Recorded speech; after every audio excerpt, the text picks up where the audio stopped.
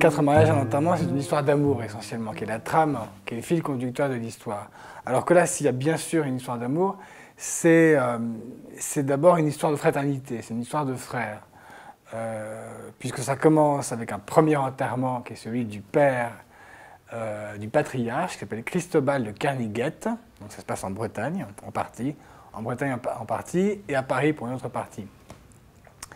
Euh, donc c'est l'histoire de trois frères, Renan, l'aîné, Paul, le puiné, le second, et Archibald, le troisième, le cadet, euh, modérément éplorés par la mort de leur père, euh, qui, qui, qui, est un père, un père fantasque, un père assez, assez extravagant, qui, qui est un entrepreneur raté, sculpteur obscène, mari volage, voilà, un personnage assez assez extravagant, mais ce n'est pas le seul dans mon roman qui soit extravagant.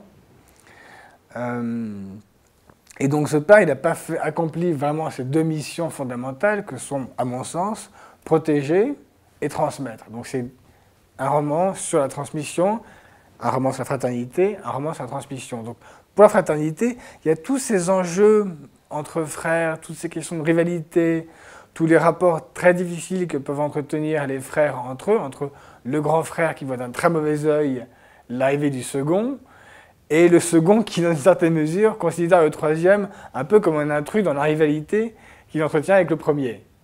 Euh, c'est un peu ça la trame de fond de, l'histoire. Et donc c'est pour ça que c'est pas comme quatre mariages en enterrement, puisqu'il ne s'agit pas d'une histoire d'amour, il s'agit d'une histoire de frères et de fraternité. Euh, fraternité, jalousie.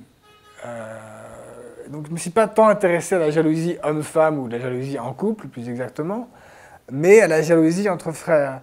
Et, c'est une jalousie qui peut soit euh, on peut la nier, la refuser, la condamner, ou alors on peut la, la transmettre d'une génération à l'autre. Et in fine, il s'avère que, que cette jalousie a été transmise déjà par le père Christobal à ses enfants, et qu'ensuite elle est transmise par Renan, donc le fils aîné, à ses enfants à lui. Mais puisque ça se termine par un mariage, donc ça se termine bien, et on verra à la fin de l'histoire que, que cette jalousie, les trois frères parviennent à la dépasser. Et ils parviennent à la dépasser, bon je ne vais pas vous raconter toute l'histoire, parce que ce ne serait pas pour ça que je suis là, mais, et puis ça serait un peu dommage, mais il, la, il, domine euh, en grande partie grâce à l'intervention de la jeune génération, la troisième génération, donc il y a trois enfants dans cette troisième génération, les deux euh, aînés, Renan, euh, Odin et Thor, et puis Mirabelle, qui est la fille de Paul. Euh, j'ai choisi à dessin des prénoms un petit peu, un petit peu cocasses, parce que là encore, je trouvais ça plutôt amusant que de trouver ces prénoms-là. Donc c'est la, nouvelle génération, ce sont les jeunes d'aujourd'hui qui incarnent, qui vont résoudre l'énigme, si je veux dire, qui vont parvenir à, à, sortir de cette jalousie, à sortir de ce, de ce problème et à faire que, que voilà, euh, que, que, tout le monde se réconcilie à la fin, que ça, se passe bien, euh, ça se termine bien. Donc voilà pour le côté comédie familiale. C'est plein de rebondissements. Ça, bah oui, il y a quatre morts et un, et un mariage, donc y a, y a, ça, ça, bouge dans tous les sens.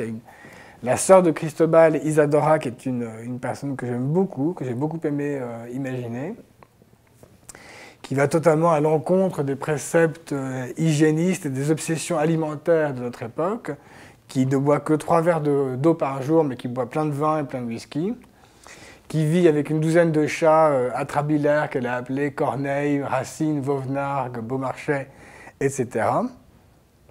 Et donc c'est aussi une satire de notre époque. C'est une comédie sur notre époque qui est, euh, bah, qui est quand même un petit peu bizarre, qui est, un petit peu, qui est assez amusante et qui, donc j'évoque pêle-mêle plein de sujets. Par exemple, je parle du, marketing de la mort, euh, combien le marketing peut euh, avoir pris de prise sur notre monde contemporain. Donc, il y a par exemple une certaine Mylène Martinet qui travaille aux pompes funèbres Fuite, qui a inventé le concept de nécrodégradable, c'est-à-dire que le corps en décomposition fait de la géothermie. C'est quelque chose, c'est des trucs un petit peu des idées un petit peu étonnantes, mais insolites.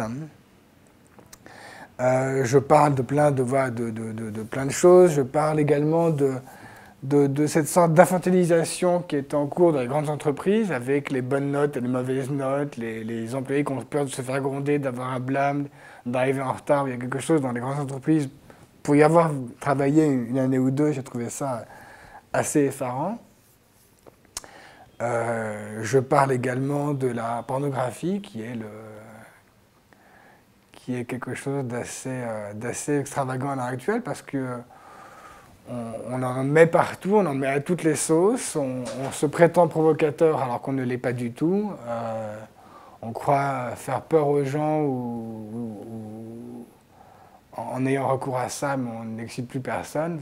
tout ça est d'un banal et d'un convenu. Donc, je parle de ces faux provocateurs.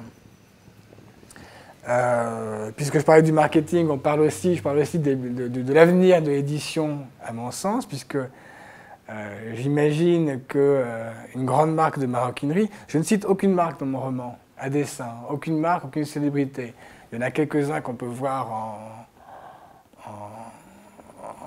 parallèle, enfin, qu'on peut, qu'on peut imaginer. Je pense à Madonna, par exemple, qui pour moi va devenir une vieille réac dans les années à venir. Mais je ne cite aucune marque. Et donc, pour le marketing et pour le monde de l'édition, j'imagine par exemple, je trouve ça assez amusant, qu'une grande marque de maroquinerie dise aux éditeurs, voilà, écoutez, ça c'est votre roman. Eh bien écoutez, à la page, à chaque page impaire, j'aurai une pub pour, euh, pour Dior par exemple. Parce que, voilà. Et donc Dior va acheter comme ça une partie du livre, ou financer une partie du livre en ayant de la pub pour Dior à chaque page, ou Dior ou LVMH ou n'importe quelle de ces marques euh, qui font fantasmer les, les, les, les pétasses brésiliennes et autres. Euh, donc, euh, donc voilà, je parle aussi du dopage chez les cyclistes, mais pas chez les cyclistes, euh, les sportifs, chez les, sportifs du dimanche. je parle de la cité des 4000, mais des 4000 euros, parce que dans mon imaginaire, puisque j'imagine que ça se passe dans une dizaine d'années, cette histoire, 5-10 ans. Et donc j'imagine par exemple que la cité des 4000, qui est un lieu de, de trafic de drogue, de violence, de gangs et compagnie deviennent un lieu totalement bobo dans les années à venir, et où ce sera les 4 000, mais les 4 000 euros pour avoir un loft dans, une barre HLM rénovée par un, par un architecte à la mode. Donc voilà, je parle, j'imagine plein de choses dans cette histoire, j'imagine plein de choses euh, actuelles, euh, je force le trait, j'essaie d'être outrancier le plus possible, euh, sans jamais être vulgaire. J'espère être parvenu à, ne pas l'être. En tout cas, je n'ai pas cherché à l'être. Euh, j'essaie d'évoquer sur un ton badin avec légèreté et humour des sujets qui me paraissent plutôt graves, euh, plutôt sérieux, mais pas de faire ça de façon sinistre. Et puis encore une fois, pour terminer, ça se termine bien, parce que je suis mon côté fleur bleue. En fait, je suis quelqu'un de très fleur bleue.